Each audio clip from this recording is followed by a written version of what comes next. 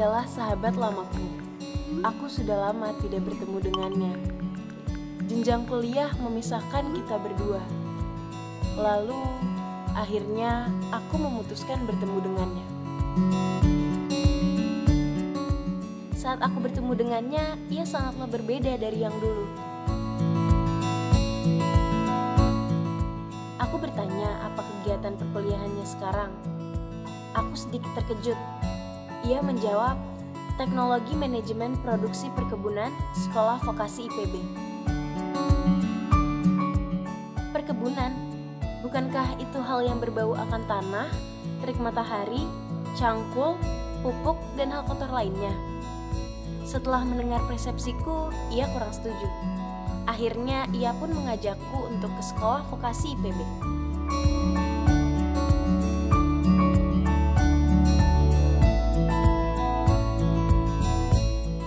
Teknologi dan Manajemen Produksi Perkebunan atau disebut juga TMP adalah program studi yang penting bagi Indonesia karena komoditas perkebunan merupakan salah satu penghasil devisa negara terbesar kedua setelah minyak dan gas bumi.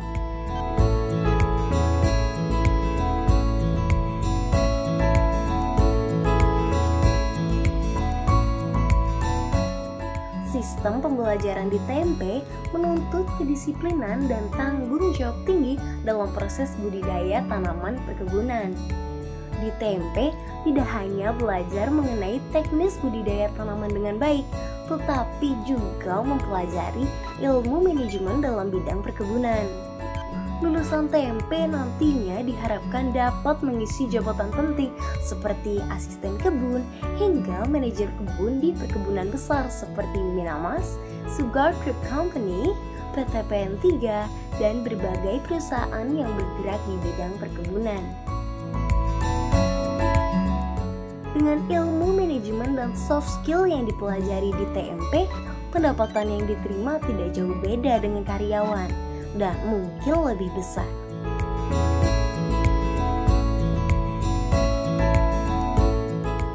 Setelah mendengar penjelasannya, persepsiku sekarang berubah 180 derajat akan perkebunan.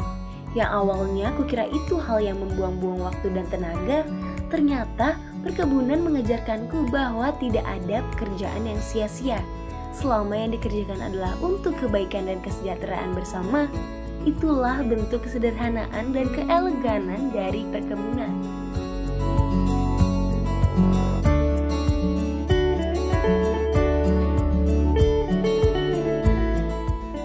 Dan menurutku hal ini harus dipublikasikan ke media karena masih banyak masyarakat yang menganggap remeh apa itu perkebunan, sama sepertiku yang dahulu.